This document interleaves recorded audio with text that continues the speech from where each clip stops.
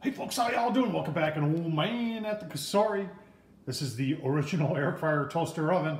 Uh, and the thing's also rotisserie too. Uh, I've had a couple people say, I, I thought you said it was a rotisserie. And, I, know, I have not used the rotisserie option yet. But today we're gonna do some air fried potatoes on there. Folks, we're gonna, this, we're gonna really take advantage of the capacity of this, of this Cosori air fryer toaster oven. So let, I'll tell you what, let's take a look at the taters, get them prepped and get them in there.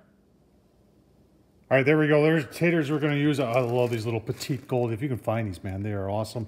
And we're going to be cutting these up and toss them in just a little bit of olive oil with a little bit of seasoning. And then here's our air fryer rack.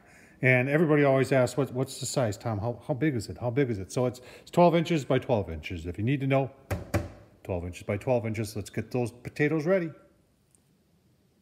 All right, there's our taters. Uh, everybody, if what, what was in that bag? That was about one pound of these small goldens here. Oil, I'm using the Zhang stir fry oil, folks. Folks, if you can find this stuff, uh, you know, specialty stores or some of the local grocery stores might have it, but infused, uh, it's infused with garlic. It's really good.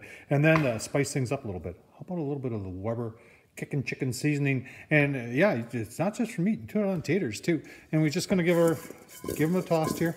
Really simple to do. And then uh, onto our uh, air fryer she'll go. All right, there they are in the air fryer, and here's our controller. You can see we got set at the air fry 400, and then we just press start. And it goes to our preheat, and then it'll go into the baking mode right after that. If you want to avoid that, all you got to preheat, all you got to do is press it again. And there you go. Now it's at the countdown 25 minutes. Give you a couple look-sees as we proceed. Oh, there we go, folks. You can see what the time is. We're about 16 minutes into it. Uh, remember, I didn't do a preheat. Uh, a lot of people ask, does this cook as hot as a regular air fryer, like a 5.8 quart? And, you know, the, the answer is going to be probably no, because there's so much more room here. Plus, you've got this glass door, so it doesn't seal as tight. But I'll tell you what, you can see sizzling there, and she is a cooking. And if you're wondering where the heat is coming from, there's a, you can see the bottom See on the bottom, they're not on, but on top they are. And then there's a fan over there. You can see it, see it right there? And there's a heating element in there also. So that, that's what works when it's on the air fry. So go a little bit more, and then we're gonna turn them and brown them up on the other side. And this is probably gonna take a little longer than 25 minutes. I, I was, I was expecting that. Uh, but the great thing about it is that you can fit a whole lot on here. This is one pound. There's plenty of room. We could easily probably put two pounds or a pound and a half in there. And what you got there is uh, enough for a nice side for an evening dinner. So give you a couple more look-sees and keep on watching. All right, you can see a little splatter on the window there. This is about 30 minutes. I did flip them. Oh, that's why they look the way they did. Uh, I wanted to see what they were like on the bottom. These two, see these two over here, they, they were flipped the other way.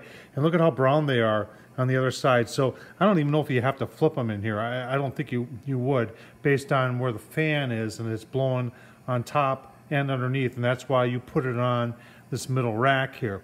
But uh, some uh, the smaller ones are done. And, and the bigger ones are really close to being done. So we're gonna go just a couple more minutes and I'll give you a look, see once they're plated up. Oh man, look at, look at that. I tell you what, that was on the Cosori. You know, you saw it using the air fryer, air fryer option. That's about 30 minutes, folks. Uh, uh, that's one pound of potatoes right there. Like I said, you could do a whole lot more on there. And look at them. I mean, they're they're hot.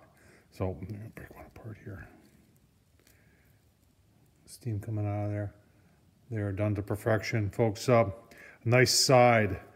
Uh, this air fryer, toaster, oven, convection oven. Remember, it even has a rotisserie and goes around and around and around. I have not tried that out yet. I will at one some some point. Keep on watching, and I'll show you that. Tom Horsman on YouTube, folks. Thumbs up, leave a comment as you do, and I, I, I can't say it enough. Once again, thanks for watching.